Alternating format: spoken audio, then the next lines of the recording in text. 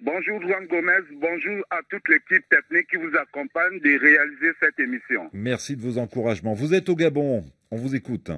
Oui Juan, le Qatar vient d'annoncer qu'il organisera la Coupe du Monde de football en 2022. Il a renoncé d'organiser à 48 équipes, elle se jouera à 32 équipes, comme les coupes, comme les coupes du Monde précédentes.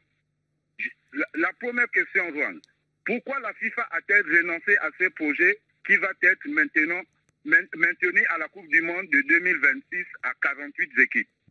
Alors, euh, Cédric de Oliveira, c'est vrai qu'initialement le passage de 32 à 48 équipes était prévu pour 2026. Seulement voilà, le, patron de la FIFA s'est dit bah pourquoi pas avancer la réforme un peu plus tôt et, organiser euh, donc ce, nouveau format dès la prochaine Coupe euh, du Monde au Qatar. Et puis finalement, il y a eu ce rétropédalage la semaine dernière de, la FIFA. Comment expliquer qu'elle qu fasse marche arrière maintenant? Eh ben, La FIFA effectivement, elle était très ambitieuse, mais elle s'est heurtée en fait à la situation géopolitique un peu particulière du Qatar, puisqu'organiser ce mondial à 48 impliquait d'augmenter le nombre de matchs. Au lieu des 64 prévus à la base, il aurait fallu en organiser 80.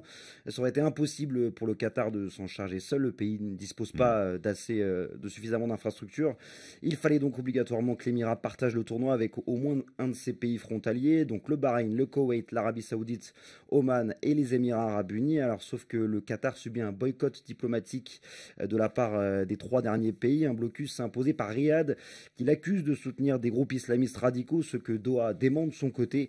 Une Coupe du Monde commune aurait impliqué la levée de ce blocus, en particulier sur les mouvements de biens et de personnes, et c'était impossible en tout cas de, lever ce blocus.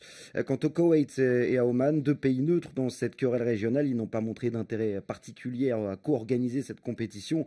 En tout cas, aucune proposition du coup à ce sujet ne sera soumise au congrès de la FIFA le 5 juin à Paris. Donc l'obstacle est donc euh, géopolitique avant tout. Vous aviez une autre question, Patrick Oui, Joanne. Remet pas-il en cause le renouvellement du président de la FIFA lors du congrès en juin prochain? Alors, c'est vrai que comment s'appelle-t-il le patron de la FIFA Gianni Infantino. Gianni Infantino, j'avais un trou de mémoire. Et on est lundi. Voilà, oui, effectivement, on a pris l'habitude. Euh, Infantino remet en jeu son mandat dans quelques semaines. Effectivement, ce rétropédalage, c'est quand même un, un, coup dur, un camouflet pour lui. Ah oui, c'est une grosse désillusion hein, pour Gianni Infantino qui a beaucoup œuvré euh, pour défendre ce projet. C'était même quasiment le seul à croire vraiment à ce mondial à 32 équipes. On l'a vu multiplier les voyages dans le Golfe, notamment au Koweït, pour tenter euh, de convaincre sur cette co-organisation.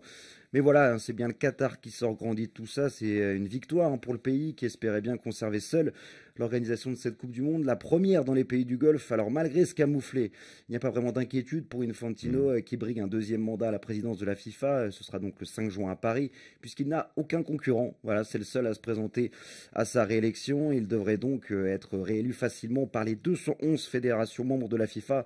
Reste à savoir maintenant, Juan, quel sera l'accueil qui lui sera réservé lors de ce congrès. En tout cas, c'est sûr que cette première défaite symbolique va diminuer un peu son aura.